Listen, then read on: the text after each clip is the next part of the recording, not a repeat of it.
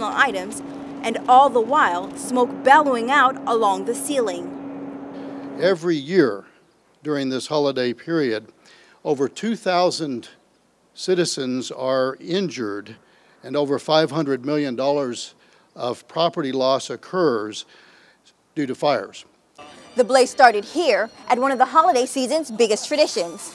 The problem is this tree is way too dry, but there are other hazards. There's this open candle and the gifts that are way too close to the tree. It was as simple as lighting a candle, and then the flames took over. Don't be alarmed. This is just a demonstration by the Los Angeles County Fire Department, and it doesn't have to be your fate. It all boils down to a few simple tips. When you touch the branch, determine if needles immediately fall off that tree into your hand. Tug them just a little bit. And if they come off readily, don't purchase that tree. If the leaves fall off, that tree is dry and can easily catch on fire. The leaves on a good tree can withstand a light pull. It should also be green all the way through and should be watered daily. As you see here, a well hydrated tree is very hard to burn. For HCTV, I'm Bobeth Yates.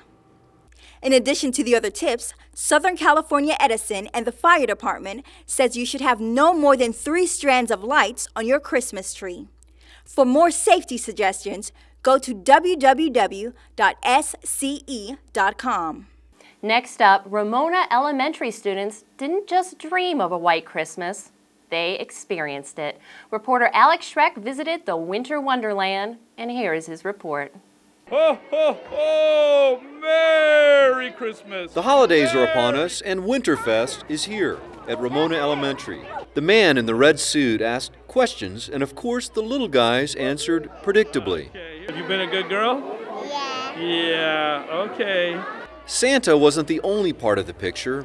Food, festivities, and a gym full of smiles filled the night. I'm gonna need your I'm gonna need your help, Jerry. Can you put your finger right there? And just like a school day, Kimberly Wilkes taught. Kids learned, and moms served refreshments.